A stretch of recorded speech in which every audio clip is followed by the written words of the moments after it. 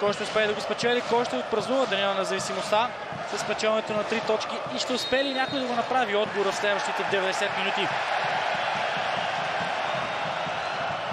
И чисти мрежи и само един допуснат гол при това от отлично положение на Владко Друбаров. На стадион Българска армия при Ремито 1-1 с Черноморе. Хайнц. Хайнц стреля удар от норвежеца. Орисен да вкарва красиви голове този път. Само, че ЦСК е с най-малко допуснати голове средно на матч в цялото първенство. 0,62 попадения за двубой.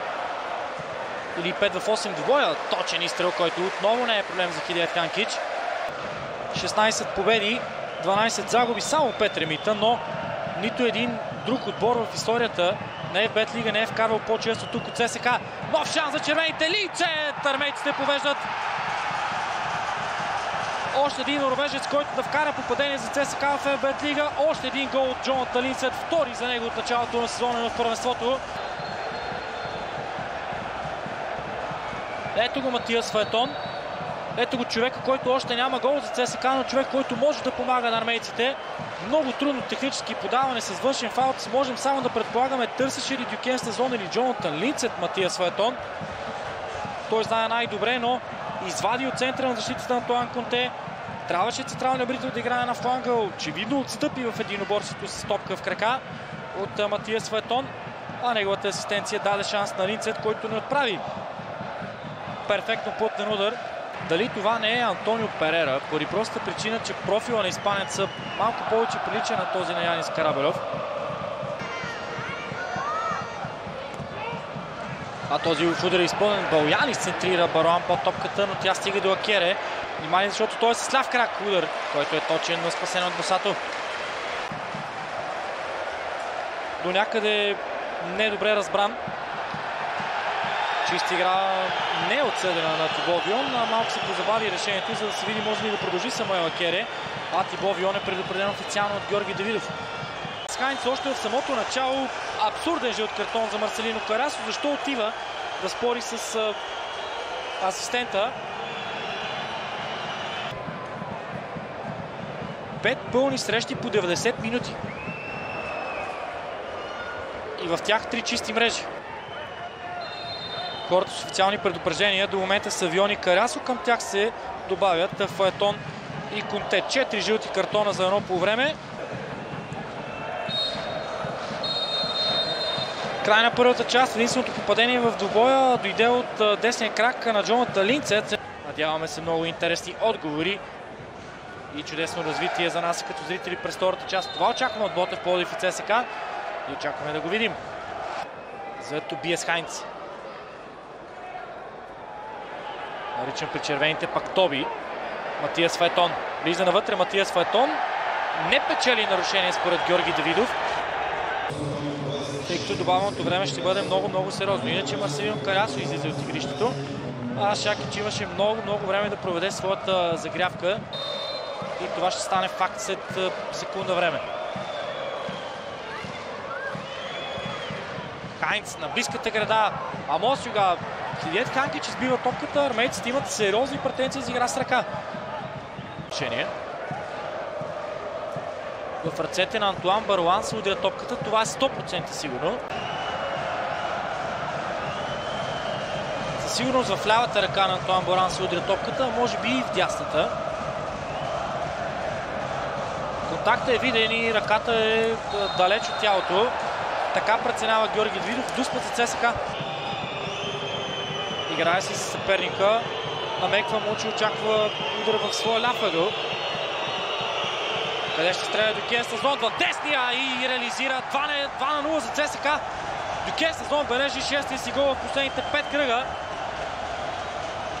Червената радост е бурна. Червената радост Бизон, както е наричан в червената съблекалния Дюкен Стазон с удар, който не дава много шансове на Хидеят Ханкич. Силно изпълнение. Да, Ханкич играе с топката, но тя е трудна за избиване заради скоростта, с която разполага. Може би единия крак на Хидеят Ханкич беше над гол линията. Извеждаш паз за Антуан Баруан. Ще спре добре топката. Баруан стреля, но не го прави неточно. Аут обтъжаване на полузащитата на Бота Плодив след малко такова ще има и Велин Пов с центриране. Антуан Варлан искаше топката, пред него я взе Антуан Конте и стреляне точно. Уме Мануел вече на игрището на място на Антуан Барлан. Антонио Перера също извън игра. И в кръга на шегата двете гидки показват колко се харесват. Вербално. Ивелин Попов. Прекрасно подаването Ивелин Попов. Шанс за Ботев Плодив 1 на 2 че е жив. Ботев Плодив също. А Ивани Попов този път не с гола, с брилянтна асистенция носи радостта на канарчетата. Балуяни се човек, който се разписа на жълточерните. Брилянтно подаване. Някои ще кажат, паса не беше с първото докосване на Ивелин Попов с перфектния тайминг.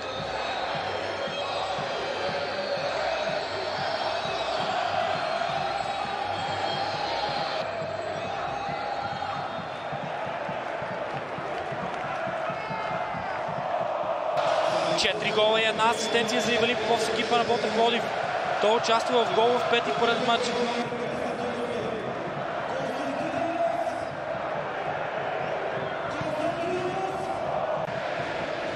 Защото сега резултатът е 1 на 2 и Ботев Плодив. Гори в желанието си да изравни Юга. Изстрел на Юга, технично изпълнение, без проблем за Хидият Ханкич. Има и друга опция, но едва ли към нея ще прибегне Нестор Елместър, ако държи да играе 4 в защита. Кристиан Петров да бъде ляв бек, Махмутович и Кок да бъдат Литовец се вкара за националния отбор на страната си до 21 години срещу Уелс при загубата с 2 на 3, че имат три равенства от началото на сезона. Ботев Плодив и ЦСКА правят най-много ремита, както е в Бет Лига се поднови. Гостава Госато получава картон за бавене на играта. Може би преди това още един път изрита Майкъл Естрада. Редара Бей получава жълт. Много агресивен и изключително чист пагат на Красян Колев. Влиза навътре младен футболист. Кара в Разград. Тук остава Госато спасява.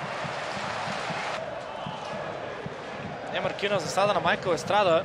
Великолепно заставане с тяло Джон Талинцет Хайнц. И стрели на Хайнц. Той е неточен. Няма повече секунди за губене по-точно. А тук ще има жълт картон за Константинос Балуянис. Спокоен, връща назад за Тибо Вион. За трети пореден матч в Полдив ЦСКА печели на 0. Армейците още един път покоряват града под тепетата. Сториха го минали сезон срещу Ботев Полдив на Коматево.